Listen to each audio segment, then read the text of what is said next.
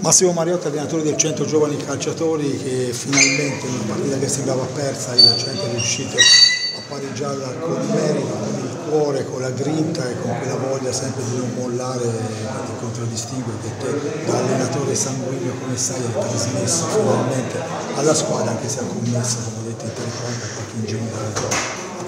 parte che credo che non mi ritengo solo un allenatore sanguigno. No, ma io dicevo questo aspetto qui, che è quello che conta ora. Sì? Al di là della battuta stasera permettemelo perché sono particolarmente contento per i ragazzi, perché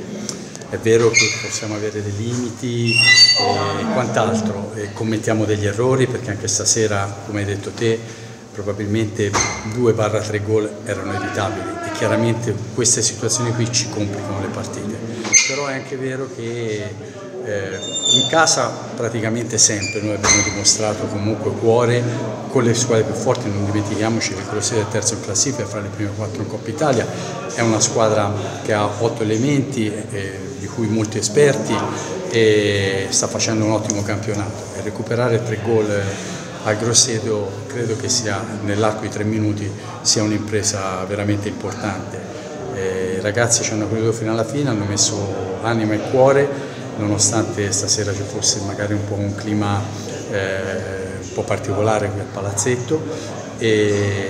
L'importante è che tutti cerchiamo di remare dalla stessa parte, eh, stare vicino a questi ragazzi e io penso, gliel'ho detto subito finita la partita nello spogliatoio, che queste partite qui aiutano anche a dare autostima e possano per la nostra eh, diciamo, situazione che è quella di cercare di mantenere la categoria lavorando partita per partita dà molta autostima, può anche aiutare a cambiare in positivo la stagione, a credere di più nei propri mezzi. In questo periodo i giocatori erano anche un po' abbattuti da questo tipo di situazioni, quindi non è facile, non è stato facile mantenerli sul pezzo, specialmente dopo una partita come quella di Bassano, pronti via andare sotto di due gol, recuperare, risubire due gol, andare a riposo di, con due gol di svantaggio, prendere il quinto, eh, c'è da fare complimenti a Emiliano Torres stasera perché è entrato, eh, oltre a preparato la posizione di prima, ha compiuto dei interventi importanti, ci ha permesso di mantenerci in partita e quindi complimenti alla squadra. Achilli, il tuo collega, allenatore della Grosseto pur riconoscendo anche lui qualche errore dei suoi, però ha sottolineato anche qualche errore degli arbitri. Questo se l'ha detto Achilli avrà i suoi motivi. Io personalmente, questa è la sedicesima giornata, sono in una situazione di classifica difficile, la mia storia parla di altre classifiche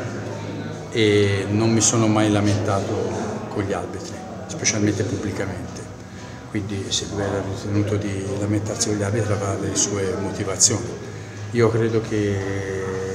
gli arbitri stasera possano aver commesso gli errori da ambo le parti. Eh, il primo gol,